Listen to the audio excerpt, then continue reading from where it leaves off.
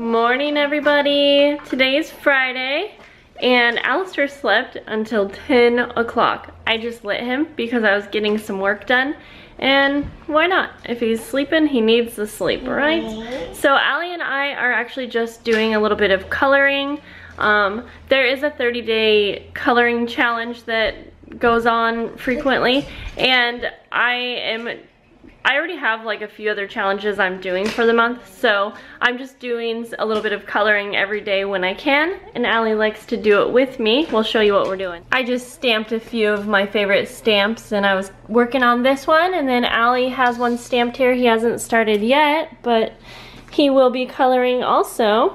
So my mom is coming over today, and she is going to be helping me if you guys remember me talking about some shaker clips that I was making for a subscription box by Jamison Reid Designs, well, I had finished that, but then we realized, well not realized, then she decided to sell more than 25 boxes because she has quite a few followers on her Instagram account and she just wanted to make a good number available. So I actually need to, need to make about 30 more of those clips they're pretty time consuming, so my mom is going to come over and help me. I'm very thankful for that help. So I've basically just been cutting a ton of stuff on my cutting machine here, my Cameo. Uh, maybe I'll show you guys how it works later on. And also I have some things to update you on about my health insurance because I'm still fighting to get my health insurance back and I just wanted to kind of talk a little bit more about that.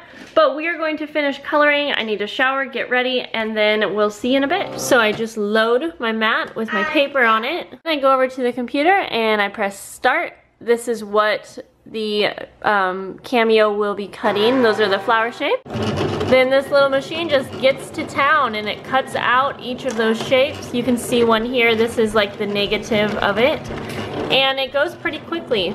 I need to cut about 20 of these sheets, so it does take some time. So we have everything cut. Now we're just making piles of the different layers that we need to make. There you go. So now you can see what the shaker clips look like.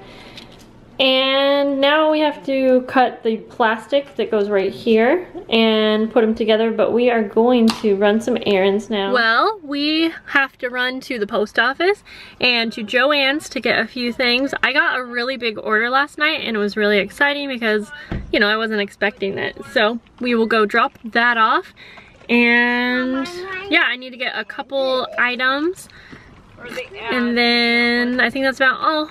Grandma's coming with us. Well guys, the night has slipped away. I have been working and filming all night basically. Okay, well I'll talk to you later. Bye.